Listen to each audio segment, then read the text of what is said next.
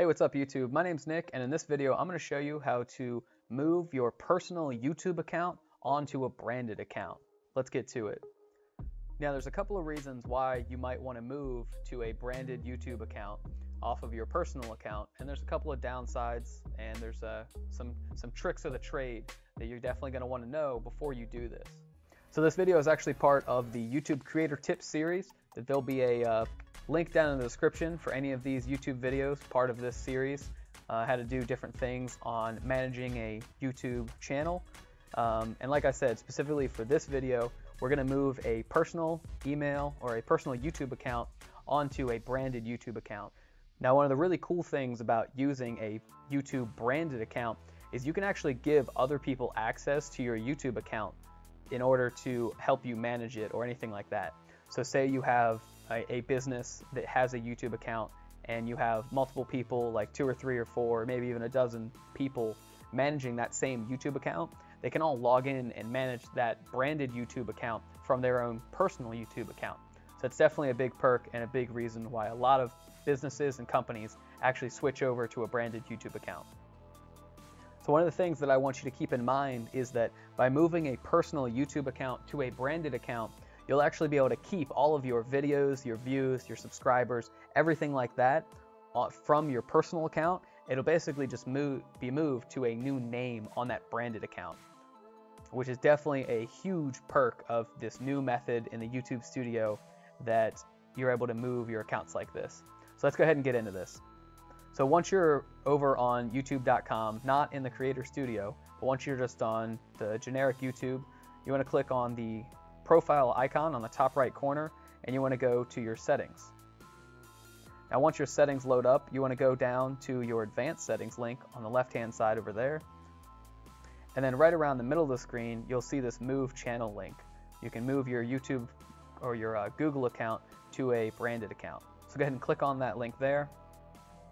Now once it is loaded up, you can see that my channel here is on my personal channel. It's connected to my own Google uh, email address and all that kind of good stuff there. But you can see that after the move, you can actually select what branded account you want to move it to. Now, if you don't have any branded accounts already here, then you can check out my other video, be a link down in the description on how to create additional branded accounts or just multiple YouTube accounts that you can actually manage all from the same uh, Gmail or Google YouTube login, which is super convenient to do if you're trying to do that sort of thing. But once you have an additional branded account created, for me, I have this one of HeyTuts, and I'm actually transferring all my videos and my entire channel over to that branded account. So you just want to select whichever branded account you want, and you'll notice that all of my subscribers, my videos, my playlist, it's going to be moved over to this new branded account. Now something that is very, very important to know is that any videos, views, or any content on the branded account that you're moving to, in this case, this HeyTuts branded account, any content on that account is going to be completely deleted once you make this move, and you cannot get any of this information back.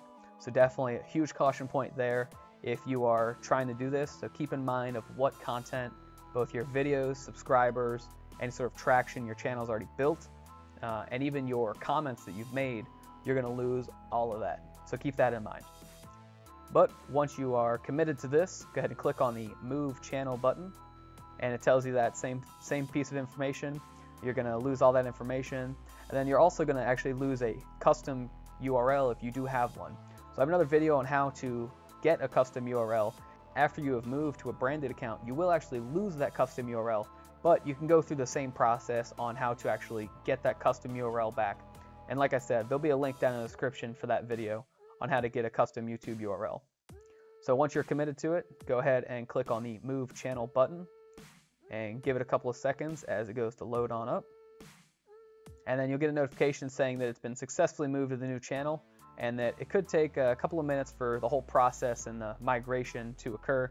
But you'll notice that the information is all gone and that's definitely what you want to see there. Now once your migration has been completed, you can go ahead and go over to your YouTube Studio link on the top right corner, click on your icon, click on YouTube Studio, and then uh, wait a couple seconds for it to load up. and then boom, you can see that all of my content, you'll get a nice little notification saying, hey, you're new to YouTube Studio, because it's uh, you kind of are.